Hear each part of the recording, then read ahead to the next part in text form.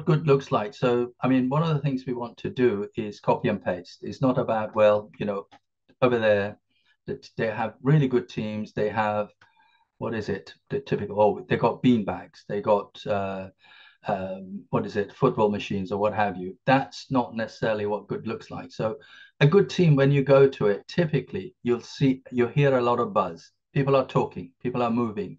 That is a good indication that the team is working as as a team. The other thing is that you're actually delivering stuff. So it's no good just having a buzz and a hum and actually not finishing work.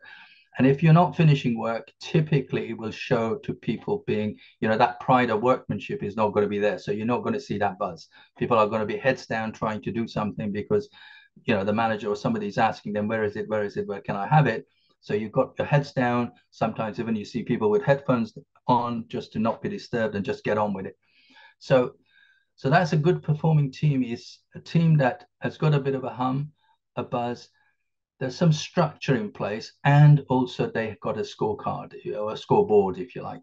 So they know what they're shooting for. They know the goal that they're going for, and the goal isn't just to deliver more stories. The goal is something that is aligned to the benefit to a customer, so they can see how they're making the lives of the customer better. So it's not about building more widgets, but you know, what is it going to do for the customer and what is it going to do for us as an organization? So what benefits do they get and what benefits do we get? Because you need to have that balance both sides. Yes, we want to help our customers. Also, we need to get enough money coming in so that we've got a sustainable business and we're all going to be happier. So that's how we know.